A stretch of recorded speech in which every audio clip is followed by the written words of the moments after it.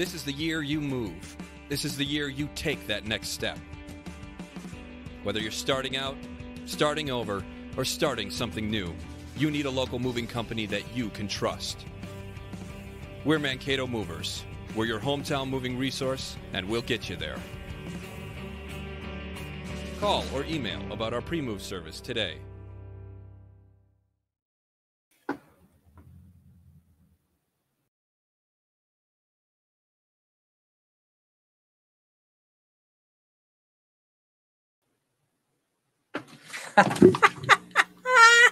I had my camera covered up with a piece of paper. Welcome, everybody, to our ICE podcast.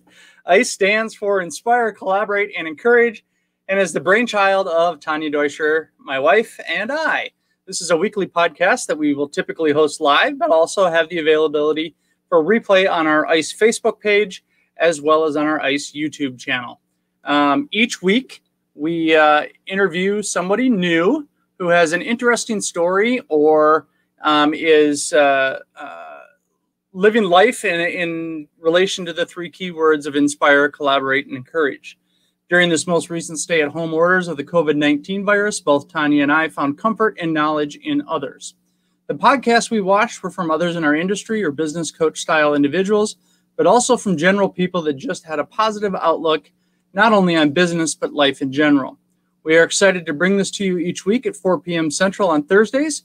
We will also have the ability in many of the presentations for you, the general public, to ask questions of our guests. So, without further ado, let us get to our first ICE guest or to our ICE guest today. So, our ICE guest today uh, is a name and face well known in the Mankato, Minnesota area. He's currently running his own insurance business, the Chris Willaert Farmers Insurance Agency. He's a former sports commissioner of the Mankato area, father of two active sons, a radio personality, and survivor of a very rare, ex- exceedingly rare heart condition. So please join me in welcoming Mr. Chris Willaert. Hey, Chris. Good afternoon. Good afternoon. I, I, I discovered that if you put a piece of paper in front of your camera, it's hard for your camera to see you. So really, oh, like that? Yeah, right. yeah. That's, gotcha. I will not do that.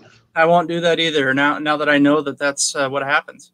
Um, well, again, welcome. Thanks for being part of this today. Uh, I know you had a full day like I have with uh, with our BNI group in the mornings on Thursdays, but uh, um, it, it, was very nice of you to, to offer to be on today. So um, let's get started. Um, so, okay, so insurance is one of those industries where people do not really think about it until that uh, oh crap moment in life. Yep. And uh, and and just for the record, Microsoft Word did not like the word crap yesterday. It kept telling me that it might be offensive and, that I should change it. I changed it to the normal one and it didn't like that one either. So we went back, so we went back to crap. All right. Yeah, we went back to crap. Uh, you can insure nearly anything and you can insure nearly anything in life, but what primary types of insurance do you offer at your agency? Um, obviously, well, you know, we're a farmer's agent uh, agency, and everybody knows then that, uh, or typically does because they've seen our commercials um, with Professor Burke, that we obviously do home and auto. Those are the big things. Um, obviously, toys, meaning, you know, boats, ATVs, jet skis, all that kind of stuff. Um, we absolutely do life insurance. And then one of the big focuses with my agency is actually the commercial side of things. So, business insurance, business owner policies um, commercial liability, commercial auto, um, uh, workers' comp. Um, that's another one, that, and that's actually one that uh, we're is a real huge strength of ours. Um, is the workers' comp side of things. So.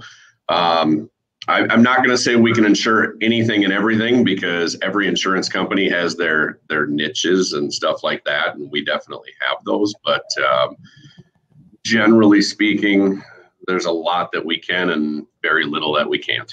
So, okay.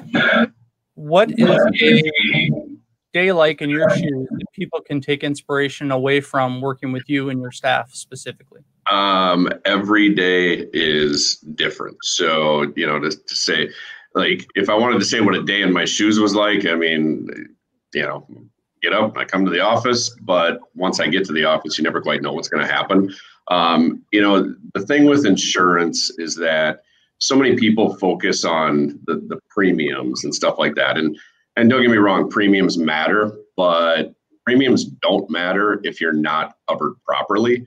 So when I'm working with clients, whether it's the personal side of things, their home and auto and stuff, or it's the the business commercial side of things, my focus, you know, my, my first focus is let's make sure you're covered for those oh crap kind of things. And let's make sure that if you do have that oh crap moment, that it doesn't turn into another one because you find out, oh, you know, maybe I didn't have the coverage I should have had. Um, so I'm very focused on making sure that, you know, if if a client of mine doesn't have a specific coverage, it's usually because they chose that. and a lot of times it's again, yeah, yeah, you know, get into things like backup sewer and drain, and suddenly they got water in their basement and go, yeah, well, we talked about that, and here's the form you signed where you said you didn't want that coverage because it was 200 bucks a year or whatever it was, you know. Right. So, right. I think that that's probably the biggest thing with people. It's not so much that they couldn't get insurance; it's that they don't insure themselves enough. Yeah. I mean, that's and, and on the com- on the uh, on the commercial side of it, that's especially true. I've had a number of people come into my office and there's one specifically, and, and I've known the guy for a while, but he literally sat back in his chair and said, I hate insurance agents. And I just, I was like, all right, tell me why you hate insurance agents. And he was telling me the story about a, uh, what would have been a claim. And he's like, and they wouldn't cover it. And I know you probably won't either. And I literally kind of sat back and pulled up on my screen the quotes I'd worked for him. And I went to a specific spot and I go, right there, that's the coverage you needed for that. And he just kind of sat there like, oh. so I said to him, I was like, you don't hate all insurance agents. you don't hate all insurance companies. Yeah. you just are not real happy with what happened there. I get I bet he Yeah. Yeah. So. Um, well, not everybody knows this, but I, I know this about you. I know you're a, a huge sports nut. Um, baseball, wrestling, I think, are probably your two primary. I'm not sure oh, which yeah. one's bigger than the other. I think it's baseball, but uh, being the sports family that you are, I'm quite certain that if I asked your boys this question, they're going to say to you, uh, "But tell me, whom in your life was was or is a big inspiration in your life, and why?" Um, you know, the biggest inspirations in my in, in my life, it, it, it is my mom and my dad. Um, absolutely. Um, but obviously, I, I, will say, you know, on the sports side of things, uh, my dad's the one that got me involved in things at a young age. Um, my love affair with baseball is it, it's with the game, but it's more the memories over the years and stuff like that. Um, most of them good. I mean, there was the time that my brother and I were playing hot box with my dad, and I looked away and I looked back up and caught a fastball from my dad right in the eye when I was about 10, you know. Um, and and on, on the business side too, my dad was very successful um, accountant. Um, and I know some people will be like, oh, accountant. Um, but he, when there was a accounting firm here in town called Wolf Etter and Company, and it had various names throughout the years and everything. But for about the last five to ten years of it being Wolf Etter, he was the senior managing partner there, and then um, he led them into a merger with Eide Bailly and became the partner in charge for that office here. Um, so he had a very successful business career. Um, so you know, on, on, the sports and, and business side of it, it's it's definitely my dad. Um, but I also can't even begin to find a way to ever thank my mom for all the things that she's done for me over the years. Um, it, it, it would. There's just not a way, you know. I, I interviewed uh, Carrie yesterday, uh, Carrie Sorensen. Yeah. And um, I uh, his is going to be taped in case we ever have somebody uh, that that bounces out and, and we need to gotcha. fill it. Yeah. Uh, he, he made the statement that uh, mothers, especially mothers of all boys or mothers with boys, should should just get the uh, the automatic pass right into heaven because of what they, they probably put up with. And I, I, know, I couldn't agree more on that one. So yeah, I, I will agree. You know, and it, and it's and and while I talk about my dad as far as like you know on the sports and stuff over the years, um, my mom was almost always the one driving me to and from practices and stuff like that. You know, um, and she loves she loves sports as much as all of us do. Um, we do we do tease her though because she's had four kids that played baseball or softball, and and I'm hoping she'll actually hear this because she'll laugh. But um, it was only in the last few years that we got her to go away from using the term double out and realizing that it's double play. so. um, you shared that uh, your dad taught you that the business. Uh, this was your quote. The business world isn't just about business; it's actually about people. How yeah. have you used that lesson to encourage your own sons? Um, you know, here's the thing: when people think of business, they they think literally, you know, and and with insurance, they think about again premiums and deductibles and all these different things. But you know, I look at it as what are we trying to really protect here, and that's what we're talking about there. And and it's you know when I look at my agency and stuff like that, um, yeah, I know insurance and stuff like that, but you know what's what's allowing me to be successful is building relationships with people and getting to know people and and that's something that I've very much tried to you know pass along to my kids, and I I think they're definitely getting it. That you know sometimes there there might even be something where you're like, geez, I don't really want to go to that, or I don't want to do that, but it'll help you build a relationship somewhere. That the further you build that relationship, the better off you and that person are, or those you and those people are in the long run. So um, getting to know people, you know, and that's where even when clients come in, sometimes I'm asking them questions and the questions have literally nothing to do with what's on an insurance application or anything, you know, but it's one of those, I want to find out what, what do you, what do you really want to do? What are you really trying to do? And because sometimes, you know, the, the nuts and bolts on a piece of paper aren't telling the story, you know? Right. So, yeah, and, I, and you know, in my interactions with you that I've tried to learn and take away is is is that it's you know somebody comes into our store and they they want to order some t-shirts. Okay, that's great. Um, but let's also find out what the t- oh the t-shirts are for a fundraiser for you know a family member who has cancer and and right. whatever and and so then you you know if you, I, for lack of a better term you get more more buy-in to that customer i guess i don't know but it, it it just definitely makes you feel like you're connecting and and i know that some of our best customers um, that we have are customers that we've really forged deeply that that personal relationship with them i mean we know we know where they live we know where their who their kids are we know you know kids what the kids do for for fun yeah. you know that kind of a deal and and uh, it's pretty cool um, one of my pre-interview questions to you was, "What are some of the most important lessons you had learned in life?" And I found your quote to uh, to us uh, um, to live by very encouraging. So I, I don't want to ruin the quote, so I'll let you share it with us if you would, please. So you know how I replied to that is, you know, life is short, and obviously we'll get to some reasons why I really feel that way later, but. Uh, the quote, and it's one that I came across, you know, about five years ago when I had a little health scare and stuff. And that quote was live life like a 3 1 count. Um, and for those of you that are baseball fans, you might be able to easily figure out what that means. But, um, you know, for non baseball fans, basically, you know, if you're a batter and you're standing in the box, a 3 1 count means there's three balls and one strike in, you know, against you.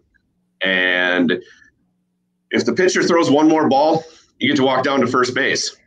Pitcher usually doesn't want to throw another ball. So a lot of times on a 3-1 count, you're going to see a fastball coming because the pitcher wants to make sure that he throws a strike. Um, and so the idea of, you know, live life, life like a 3-1 count is basically sit there and be looking for that fastball so you can knock it out of the park. And and that's kind of what it is. And I do have a shirt that has that on it. There's a store that I that has gotten way too much of my money called Baseballism, and uh, that's one of the shirts that I do have from. In fact, it's the first shirt I ever got from Baseballism. So, um, cool. I got it for Christmas that year in 2015. So I still have it. Well, and then uh, they must have been a quality uh, company then, if it's still still good five years later. So it, it, actually really is a great shirt because it's still nice and soft and still looks good. Um, uh, just a quick speed round of questions. Uh, uh, proudest moments as, and, and I've got three of them here. Proudest, proudest moments as a professional. Um, you know, proudest moments as a professional. Um, my agency with farmers is very new. Um, in fact, uh, I'm about a year and a half, yeah, about a year and a half in uh, with farmers. And so on January 1st of 2019 was essentially my contract career date, the date that they considered my agency to be open. And for 2019, so earlier this spring, um, I was the District 54 new agent of the year. And um, essentially, anybody that's three years or less um, is, is in the you know running for this award. And in my first year, I got that, and I knocked off a couple of the like the guy who had gotten it the previous year. He was in his second year already when he had gotten it, and this would have been his third year. So in my first year, um, I was able to uh, overtake some some agents that are doing some pretty good things out there. And so I'm, I'm obviously pretty proud of that, being able to jump right in and just go. okay. Um, I don't even remember how I answered that one or if I really did.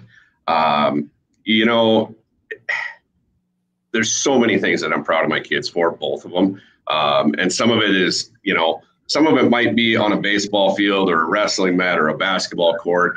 Um, I'm incredibly proud of the fact that they're both phenomenal students and they get great grades and stuff like that. Um, I it, it's hard to really. I, hell, I was proud the day they were born, but I'm I'm proud of the the people that they are becoming. You know, they're not just athletes, they're not just students. They're um, I think they're pretty good kids. Yeah, good yeah. human beings. Yeah, and proudest moment as an athlete? Proudest moment as an athlete myself, or can I count coaching? Um, let's go. Let's go with the coaching aspect, I guess. Um, I had the opportunity. I mean, I, I coached wrestling for many years. Um, in fact, I don't know, 15 to 20 years I coached wrestling. And when I moved back to Mankato in the year 2000, um, my youngest brother was then only in like seventh grade. So I started coaching him, and I had started coaching the Mankato Club at the time. Um, my proudest moment was absolutely his senior year, um, sitting in his corner at the state high school wrestling tournament when he won a state title and got his arm raised and ran over. And I'm going to start choking up here actually talking about this. ran over and jumped onto me, and I've got a picture that it's one of those like it was taken on a digital camera in 2006 so you know the quality isn't great but the, that picture it's just there was so much work that went into that over the years and and the year before in the state finals he he lost a heartbreaker right at the end and so to, to get that and having been such a it's one of those things like him and i we still obviously like talk about it and stuff but when we talk about that stuff, it's not we're not talking about necessarily that state championship. We're talking about the steps along the way, the journey along the way, and the fact that I got to do that with my little brother was just amazing. Like I said, I'm starting to choke up. So next question. well, and I that was just immensely cool for for your parents probably too to oh, yeah. Uh, to be there and to be able to see the two sons out there on the mat and, yeah. and all that kind of stuff. So yeah, yeah. Awesome.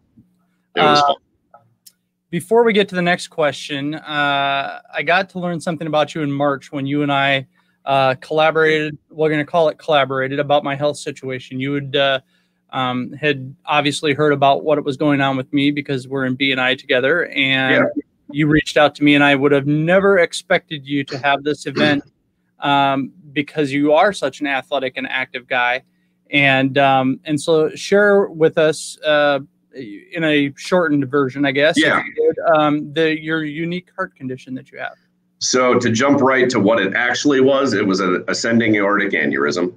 Um, and so kind of the, the, the short version of the story is May 7th, 2015, I woke up, felt great, went for a run, had lunch, was standing in my then office and talking with some coworkers. And suddenly I felt like I got shot right through the middle of the chest. And I, and it's one of those, you know, have ever been shot? No, but I've, I've been punched and I've taken a baseball off the chest, you know, and it was unlike anything I'd ever felt. And eventually, um, you know, the long version of the story actually is pretty funny, but eventually I made my way to the hospital. And I remember um, the doctor, you know, he was ruling out it's not a heart attack, it's not this, it's not that. He said the word aneurysm, and I just looked at him like, what? And basically I said, now what? And he goes, well, Mayo One's on its way. We're flying into Rochester. And that was the moment where I just went, oh, crap. Um, so got to Rochester and everything. And it ended up being the first surgery was between six to seven hours. Um, the next one, they ended up doing another one because there were complications with bleeding and stuff like that. So another three hour surgery after that. Um, and I guess as far as what it was is, um, I've got a congenital heart defect, um, which is that instead of having an ascending or instead of having, uh, uh, now I'm going to blank the bicuspid and a tricuspid valve, I have two bicuspids. And so that created pressure. And one out of a hundred is, or the numbers that I remember them telling me is one out of a hundred have that heart defect. From there, one out of a hundred ever actually have an issue and then from there, it's about one out of a hundred that actually survive that issue. So, you know, it's one of those. I'm incredibly fortunate to be here. I've got a big old zipper right up my scut, or you know, right up my chest. Uh, and it's one of those like every now and then, whether you know, might be out on a lake or something like that, and somebody will be like, what is that? Because, like you, they really never expected it. And, you know, like I said, I woke up that morning and I felt great.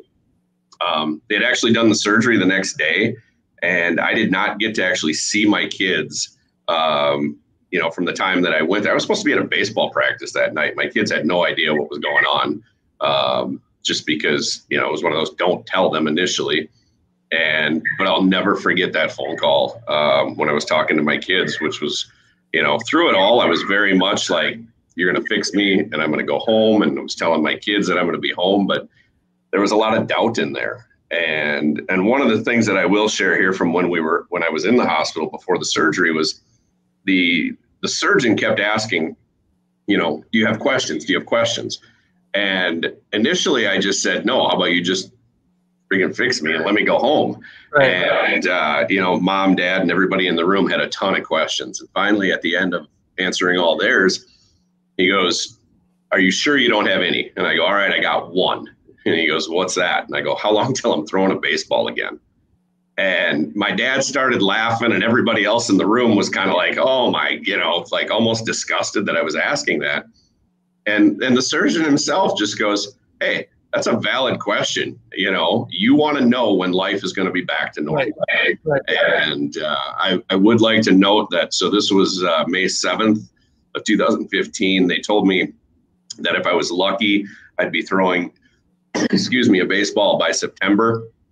And it was like the first week of July, maybe the second week of July, that I was throwing a baseball again. So I attacked that rehab. and, and little before the year 2020, we were going to deal with a global pandemic that would make things pale in comparison to our personal issues, right? Right. um, how has your life been different than what you had imagined when you were younger?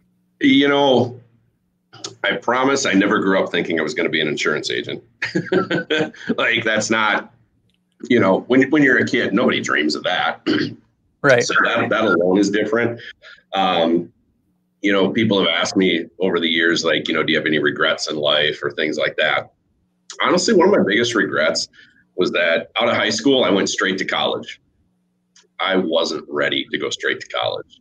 And at one point, I was going to go into the military. And honestly, I, I think, like, if I could go back in time and talk to 17, 18 year old Chris, I'd tell him, hey, go do that first and then you know go the other route.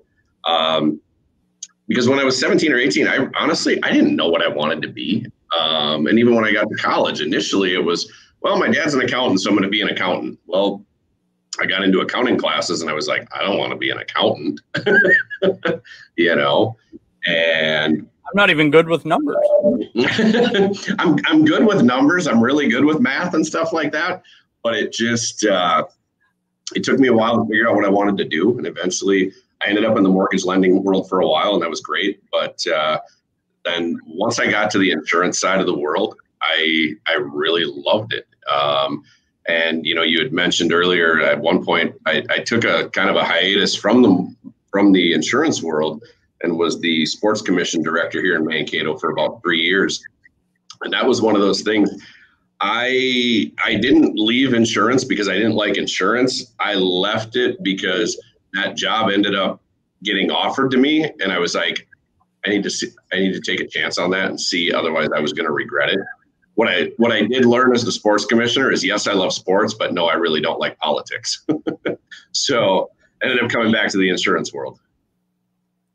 Um, how would you like your Wikipedia entry to? Uh, I, I asked this one to everybody. Uh, how would you like your Wikipedia entry to describe you? Um, I would say a fun, good guy who enjoys helping out, who enjoyed helping others. Okay. Um, you know, when I think of things that I've done throughout the years, um, I coaching, you know, coaching is one of those things that I I did it because I mean, yeah, I love the sport and stuff like that, but man, I love the I, I love helping somebody achieve their goals. Mm-hmm. Um, you know, whether it's baseball, see, you know, baseball throughout the years. I mean, I, I was coaching all my kids' teams, you know, when they were five years old you know, when you're coaching a five year old team, you got some kids that show up the first day and they don't even know how to hold a baseball. You know, getting, yeah, you know, or they grab a bat and their hands are the wrong way, you know, and and it's just it's it's fun to work with somebody and then see them, even if it's one time, have success, you know, or on the wrestling side of it, there's there was a number of kids that I can think of, i am not going to name names or anything, but um, there's a number of them where you go, all right, you're not the most talented kid in the world, but you're working your butt off, and we kept working on something, and suddenly, you know, might have been something little, but that's what helped them win that match or something, you know, and you know, and it's one of those not not everybody wins state titles obviously like like my brother did he won a lot of matches throughout the years but some of the better ones you know are those ones where it's like man that kid you know he had four wins throughout the year but you know that what you did for them helped them even get those get four of them you know yeah um, I had asked you if you collaborate with others in your life, and if so, how? And your response to me was was golden. So please share that, and then I'll I'll um, find my question better for you after that. Well, I know I had said that you'd probably need to better define it, but the, the fact is, life itself is just a giant collaboration. Um, it, you know, if you're not collaborating with people, then you just, I don't want to say you're doing it wrong, but that's kind of how I would, I guess, feel. Um, you know, um, I'm divorced, you know, and there's plenty of divorced people out there that they do not get along with their exes or things like that. My ex wife and I, we get along great and we collaborate constantly, obviously, as it relates to our kids and stuff like that. Um, you know, you're collaborating with family members on a lot of things, and obviously on the business side of the world. Um, the more you collaborate, the more successful everybody is. Um, you know, even like one of the examples that I've been using recently is, you know, we're in obviously our BNI group together, so you know who I'm talking about here, but we have another insurance agent in there who he focuses on slightly different, you know, stuff than I do, but some of our stuff really crosses over. And it's funny because in that BNI group, I've gotten more referral business from him, another insurance agent, than I have from anybody else in our BNI group. And so, you know, there's some people that come into our BNI group and they're like, you got two insurance agents. This is really weird. No, it's great. Here we are. We're competitor competitors on some things, but we work together on other things and it works out great. Yeah. Um, and that's kind of what I was looking for when, when I asked the question. So you, you defined it with your own answer. That's, it, right. sometimes not just about, um, not about working with somebody because you have to, but because right. you want to, and it, it makes you both better uh, in the end run. Um, what we have found in in our journey this past seven months is that you're not collaborating. If you're not collaborating with others personally and professionally, you risk getting left behind and Yeah. stuck uh, where your business is suffering. your friends are distancing, and as it turns out, the year of 2020, all of this was even more exacerbated by COVID. Um, you're Right. right. Life is a giant collaboration. It's a machine that is sometimes well oiled, and sometimes it needs filter changes. Right. What have you taught your boys about collaboration on and off the field or the mat? Um, you know, and that that's hard for me to really answer because, you know, when we talk about things, you know, um, it's great if you're a really good player, but it's it's better when you're on a really good team. It's a lot more fun when you're on a good team. And so sometimes it, it is, you know, um, making sure that everybody is working together because if everybody's working together, like I said, you know, winning is fun. You know, let let's face it, winning is fun, and if you can help make others better around you, then man, that makes it all that much better. And and wrestling, even though it's you know, everybody thinks of wrestling as an individual sport, it's not. It is so not. And what I mean by that is, as a wrestler, you're only as good, or how good you can be uh, is very much impacted by who you have around you on your team, who you have to work out with on your team. You know, you could be, you know, have the most potential of anybody out there, but if you don't have good workout partners and stuff like that, your your ceiling is capped. You know, You gotta have your foundation. I mean, Yeah. your, your foundation has to be your teammates, your your Yeah. coaching staff, um, and then obviously your own integrity and, and your own work ethic. That you know, in most cases, our parents are the ones that teach us that, or our coaches. Right. You know, one of the, and I'm just going to, and this goes back to like when I was in high school. Um, you know, the team that I wrestled for was not that great or anything, but one of my best friends, um, and we're still good friends to this day. Um, but my buddy TJ and I, we wrestled together from the time, you know, we were like, you know, eight years old or whatever. And, and I remember like even outside of the practice room, we were best friends, like literally inseparable in the practice room we wanted to kill each other and and even like on days where coach would be like all right we're going to do these sprints or whatever and you got to go to that line and then back and then that line and back and then the end and back and as soon as it was like we would start to challenge each other so it was instead of going to the short line and then the next line and then the you know the furthest one one of us all of a sudden on a given day would be the one to go, all right, we're going all the way to the end and back. Well, the other one would see that and be like, all right, now I got to do that because I can't let him one up me. Right. you know, we pushed each other. And like I said, there was times, plenty of times, we made each other bleed and we would walk out of the room. But as soon as we walked out of the room, we were back to good friends. In the room, we did not like each other. But it was just competitiveness and wanting to make each other better. and that's the inspiration and encouragement that you- we're providing each other. And that's Yeah. that's awesome. What does the future look like for a 60 year old Chris Ward?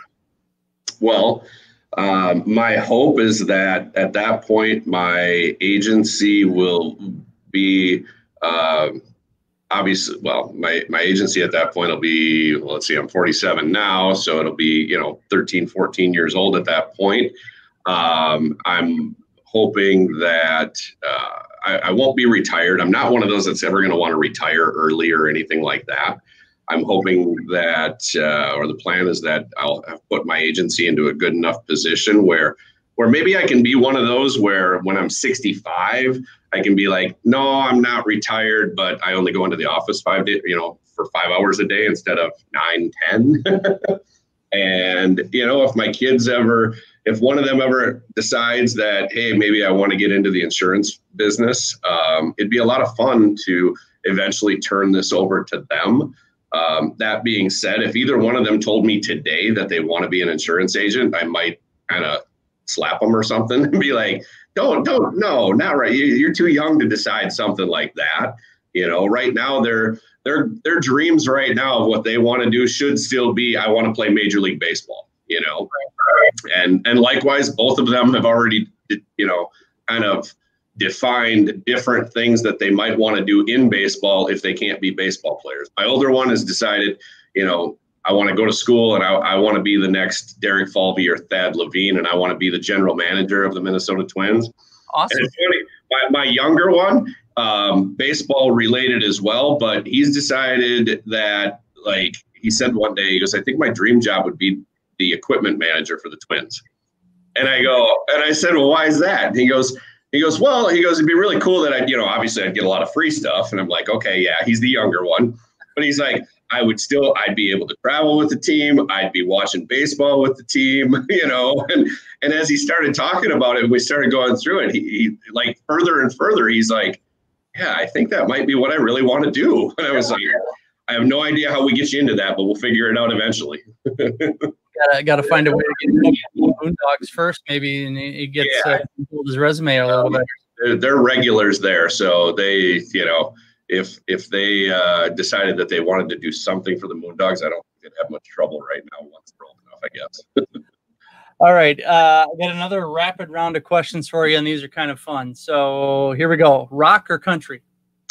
that that it's both. Um, I'm I'm all over the place musically. I'm sorry. Um, it- what was I listening to most recently? Country. Um, likewise, last night I had Metallica going loud. All So- right. Uh, well, then you kind of maybe ruined the answer for the second one: Elton John or Metallica? Oh, Metallica all day long. Okay. NCAA baseball champion or NCAA wrestling champion? oh, ow. Um, I, I would probably have to go with wrestling on that because that's what I did more of. Um, likewise, and I, I actually, my my ex-wife was surprised when I said this recently, and I said, if if our kids were ever good enough at both of these things, let's say they were being recruited by what doesn't matter what school it is, but the wrestling coach was recruiting them and the baseball coach was recruiting them, I would probably, if all, say if all things were equal, go play baseball. Okay. So that would give me the, the College World Series then, Super Bowl or World Series? World Series. NASCAR or Formula One? I know nothing about either. uh, I know that farmers at one time at least uh, had uh, somebody, one of the drivers with Hendrick Motorsports. We had a sponsorship with that. I don't know if they still do or not, to be honest. That's horrible that I don't know that. But um, so I thought that would be more NASCAR, right? So then I got to go NASCAR. Yeah, your, your, your district manager will be all over you on that one. Yeah, Um, golf or traditional or disc? traditional. Traditional. Absolutely. Uh, does the hot dog eating contest belong on ESPN every year? Um, for one hour on the morning of the 4th of July, yes, it does. it should never be on outside of that, though. So when they, if they start putting other food eating contests on ESPN, then I might struggle because they don't show enough wrestling. So Bo Jackson or Deion Sanders? it's Bo Jackson. He's the greatest athlete ever. And do you find that they play? Do you find that the music they play and have uh, PA announcers during this year's Major League Baseball games annoying or comical? Um, it can be both. Hear, and here's the thing: like the other night, I can't remember what game I was watching, but the the the noise was very loud, and all I thought to myself was, even when there are fans in the stands, it's not that loud in that stadium, you know. Yeah, So it just kind of depends on which team and which stadium, I guess. well, so clearly with that question, you can tell what I was probably doing while I was typing these questions, and that was I was watching the Twins, and and uh, they were it was uh, the Milwaukee series, and and Yeah. they're playing their music. I'm like, why the hell are they playing music? I mean, there's nobody there to listen to it. Right. probably are in the dugout either talking to themselves or got their earbuds in anyways. And then I could hear the PA announcer, oh, no, oh, no, up to bat. Right. number I, 12. uh, I- like, what is this? I kind of wish that you know they did they had a real opportunity here, and what they could have done, and what I would have loved to have is forget the background noise and all that kind of stuff. Put mics on these players. I would love to hear, you know, especially you, you, see it all the time where, you know, some guy gets a hit and he's standing on first and the first baseman and the guy on first are sitting there talking to each other. I would love to hear some of those conversations. Now I get they'd have to probably put a delay on it and, you know, leave some stuff out. Right. But uh, I, I would love to be able to hear. And that's why, like, if I could somehow figure out a way to sneak into target field right now, I would be all over that because I know you'd get to hear some stuff that you never hear. Yeah, no, I, I completely agree with you on that.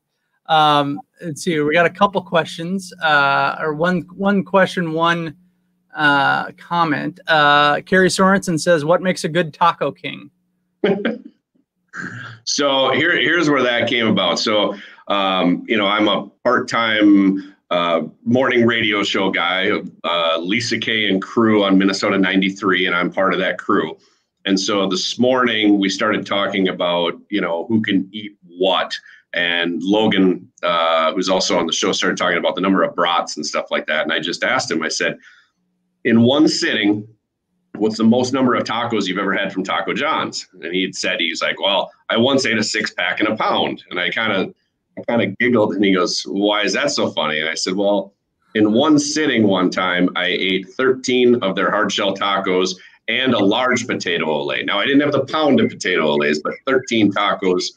Uh, and so we started talking about some things food wise. So as far here, here's the thing: there are some foods that I can eat a lot of, um, but I can also eat really fast. And um, I've, you know, there's not very many people that are going to eat beat me in a buffalo wing eating contest. Let's put it that way. But uh, I think if you put me, I, I could go up against a lot of people on tacos. Now, I'm not going to go against Joey Chestnut because that guy's a freak. He's the hot dog king, obviously. But um, I would say of the general population, I would crush the majority of the general population in a, a lot of food eating contests. I, have never, at least I don't remember being in a food eating contest. The, the only story from a food eating standpoint comes from my older brother Bill, and uh, and I know that he challenged my dad. Um, uh, there used to be a steakhouse over by Slayton, Minnesota, called the Valhalla Steakhouse. Yeah, and they were famous for like their eighty some ounce prime rib or whatever. Yep. And uh, and he challenged my dad that he could eat that, and I don't remember what the prize was and uh, so my dad's like, okay, let's go. And uh, uh, he ordered it for Bill, and my brother got it down, but man, he was so, not feeling well. I, I, actually, so I have a prime rib one story too. There was a resort that my family we used to go to every summer for I don't know about seven or eight years in a row, and this is just like back when, well, my now 16 year old, he'd have been probably three when we started going or so and anyway, they had their restaurant at the resort, and they had a deal where, you know, if you ate this certain prime rib, and I don't remember how big it was, but if you ate it all, you got a free t shirt. So on, and we were there for a whole week. And I think it was, uh, yeah, on Tuesday night, um, I was like, all right, I'm going to try this. So I ate the prime rib. I ate the whole thing. I got a t shirt. Wednesday night, I was like, that prime rib was really good. I did it again. Thursday night, I did it. Both of my brothers did it. I got another t shirt. They got t shirts. We went back the next year and they no longer had that as a thing. so I, I think um, our, you know, consecutive days of eating prime rib and taking all their t shirts maybe made them think twice about this. I was like, oh no, it's make it bigger. Buy the t-shirts. It's the Willaert Boys coming. Yeah. Um, all right, last question. You're 19 years old. You're headed to college. You get two sit-down meetings, one with the likes of Kurt Angle and one with the likes of Nolan Ryan. Who do you feel would be more impactful in sports and in life walking away from either one of those meetings? Um, okay, here, here, and I, I need to clarify something. So, Kurt Angle, the vast majority of people know Kurt Angle as the WWE guy. Mm-hmm. Um, what they don't realize, or most of them don't, is that you know he was a 1996 gold medalist. He was an NCAA wrestling champion. Um, before he became the WWE guy, um, phenomenal wrestler, really intelligent guy and everything. Um, so, in terms of answering that, it, it would be pretty interesting if I could have Kurt Angle, the, the 23, 24, 25 year old Olympic gold medalist. That would be different than Kurt Angle now. Um, but I, I, think Nolan Ryan probably would still be the one that um, that I would probably have been able to learn the most from about life. Um, likewise, 19 year old me was still playing, was still wrestling in college. So 19 year old me might have been like, no, I'm going with Kurt Angle because he could make me a better wrestler right now. And I'm not playing baseball anymore. But I, I think Nolan Ryan, um, you know, his mentality, and, and this is what I love about Nolan Ryan is his mentality as a pitcher was very similar to that of a wrestler going out on the mat, which was Nolan Ryan stood on the mound and said, That's my plate. this is my field. And, and if you stood too close to the plate, you were going to be wearing the next pitch right between the shoulder blades, you know? Yeah. So I, I think he, he would have taught me a lot. I love watching Jomboy Media uh, clips on Facebook. I don't know if you ever see those. And sometimes he goes back and pulls up some some great incredible old clips of like old baseball brawls and stuff like that. And he just had one the other day that he pulled up, and it was Nolan Ryan and I remember Ventura. And uh, Nolan Ryan just beat the daylights out of the batter when was, he It was yeah, it was Robin Ventura, and he put him in a headlock and started hitting him with the uppercuts. And after that game, this is the part of the story that I love is that after the game, one of the you know media guys is interviewing him and says, "What you know, basically like what were you thinking? Where did that come from? And he had said, he goes, when I was, and I don't know if it was his rookie year, but it was early in his career. Like the first time he had ever gotten charged on the mound was Dave Winfield. Well, Dave Winfield was like six five, six six, and you know, 270 pounds, you know. And he said, I learned then that if somebody came at me on the mound, it was swing first, ask questions later. So, unfortunately for Robin Ventura, Nolan Ryan took out what he wanted to do to Dave Winfield on him.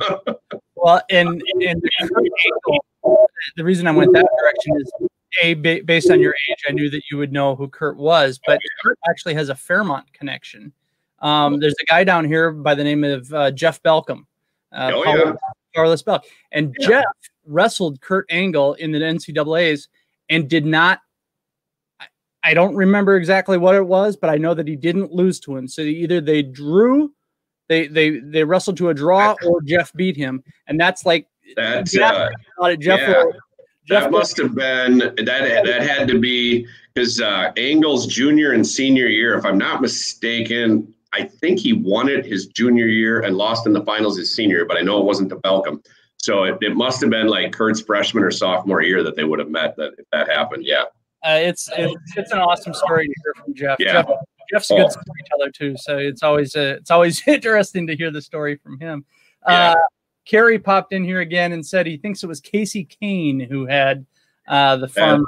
Uh, that actually sounds right to me, but I still can't uh, say that for sure. So I will I will always bow down to Kerry Sorensen when it comes to redneck questions. He he, uh, he grew up in that area. Yep, yeah, he got him. So all right, well. um again, thank you so much for sharing your story yeah. and your journey, uh, Chris, through sports and health and business and fatherhood.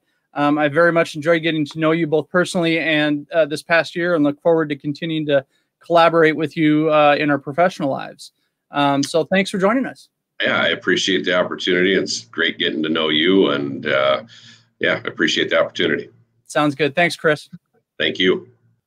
Um, next week on the show, we will have Stephen Piper, who is a youth pastor at First Presbyterian Church in Albert Lea, Minnesota.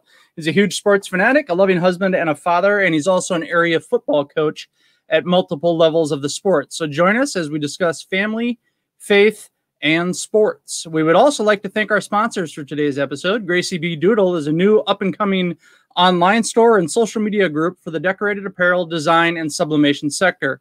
From digital papers to sublimation blanks and more, Gracie B. Doodle is a great resource for the crafters or the professional shops. Online at www.graciebdoodle.company.site.